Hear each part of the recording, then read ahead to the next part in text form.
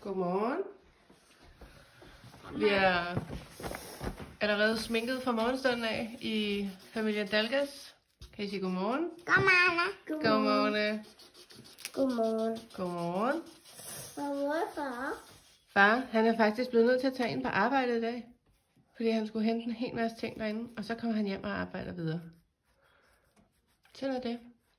Mm, Vi savner er- ham. Og øh, mor er også i gang med at arbejde. I dag har far en travl tid, Ja, far har travlt i dag. og det havde du sagt for i, i går også. Ja, i går havde jeg allerede fortalt, at han blev nødt til at tage dig ind. Ikke? hov, hov, ingen hosteri i coronatid. Søger tror, at du er syg. Det er du ikke, vel? Men jeg tror, jeg er syg. Jeg hoster hver er- eneste syg. Du er så forkølet, altså. Ja, Men det er altså ikke rigtig symptomerne, lille skat. nej. Det er ikke sygdom. Nej, ikke rigtigt, vel? Det er bare lidt snotteri. Sygdom er lidt slemmere. Det er værre, ja. Det er rigtigt. Men I er allerede i gang med lektierne. Mm-hmm. Og hvad, du kunne få den lille elefant Nej, det var faktisk... plads. Øh, det var en... Øhm, du kan prøve den der lille elefant, og hvis du kommer forkert ind, så er det, du ikke får et point. Hvis du kommer den vej ind, øh, du må ikke springe over de der øh, streger, der er det er væggen. Så skal man prøve at komme op til den elefant, og så skal man tegne det samme som det. Det er nemlig rigtigt. Så kan man tegne den vej, den kan gå, uden at støde ind i de røde kanter. Ja. Men det, det er mega svært. Jeg har allerede Ja, gjort det. det, det kunne også være, at du skulle lave din tegning der, og den bliver rigtig flot. Mor, den jeg hele. har gjort det. Det er mega svært. Ja, det var jeg mega kom svært. en gang ind der. Ja, og prøv lige at tænke, Vera er Ja. lille. Ja. Hun er lille søsteren, ikke? Mm-hmm. Ja, sådan er det. Hun må gerne komme til at ramme inde på de der. Ja. Men øh, vi er i gang, og jeg arbejder ude i køkkenet, og klokken er kvart over syv. Godmorgen i øh, kontor Dalgas. Prøv at se, flot morgen i dag. Og frosten.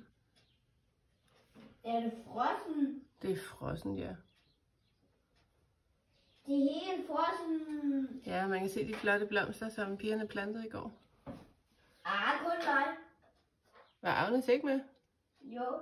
Nå, Hun, hun kiggede kun på trøjen. Jeg kan ikke huske. okay. Vi laver havregrød til morgen. Det er en yndlingsting. Det er jo godt nok.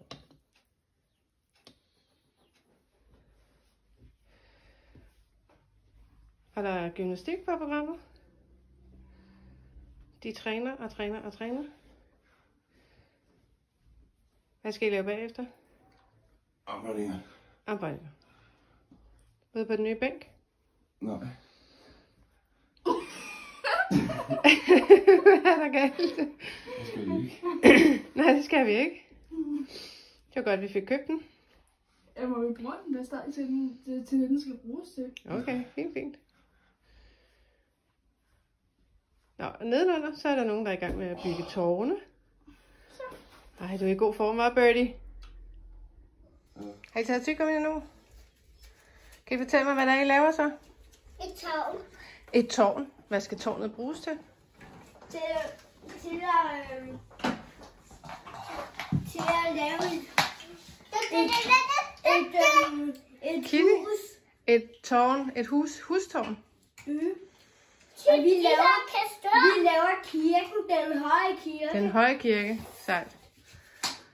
Og det er fordi, at de over i børnehavet har spurgt, om I får bygget nogle tårne, og om I vil lave et billede. Ja. Ikke? Og det skal de også i, øhm, hos Nord. Skal de det, tror du? Ja, det tror jeg. Det tror jeg altså også. Billederne bliver sendt overalt. Ja. Hvem tror du mere bygger tårn? Øhm, Nord er Ville Smil og Miljan og, og Ibo og, og Lilla så Emma, Emma og Emma og Emma. Ja, det tror jeg også, du ret i. Det tror jeg, du har ret i. Alle skal jo være hjemme. Vil Alle. jeg, er det ikke bare højt? Alle er hjemme, ja. Savner I dem? Ja. Okay, nu er jeg højere end mig. Ja, nu er det højere end dig. Uh ja, jeg skal også lige vise mine flotte halskæder. Skal I bare se? Men prøv at se. Nogle flotte, flotte halskæder, som pigerne lavede til mig. Grønne perler og mange, mange, mange flotte perler. Er det ikke flot? Jo. Ser det godt ud? Ej, var jeg ved at tabe tårnet der? Hvad? Du burde have lidt Åh, oh, hold fast, hold fast. Hold fast. Jo, men vi har regnet os frem til, at vi nok er... Og... Er det dag... Hvad? 17? Dag 17 af vores øh, lockdown. Og Claus er faktisk nødt til i dag at tage ind på arbejde. Så øh, jeg stod tidligt op og arbejdede i morges. Øh, og ja, alle arbejder on and off, synes vi. Så øh, det skal nok gå. Jeg har fundet et tråd. Ja, Den kan stå heroppe. det bliver et flot tårn, I laver. Så flot.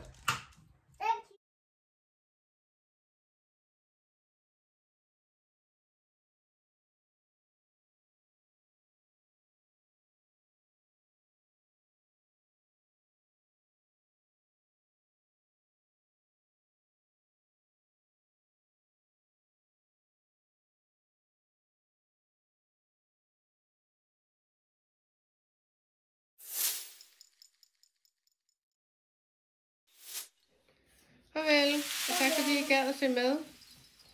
Og se lige, flotte, flotte tårne. Har I spist al frugten? Ja. ja.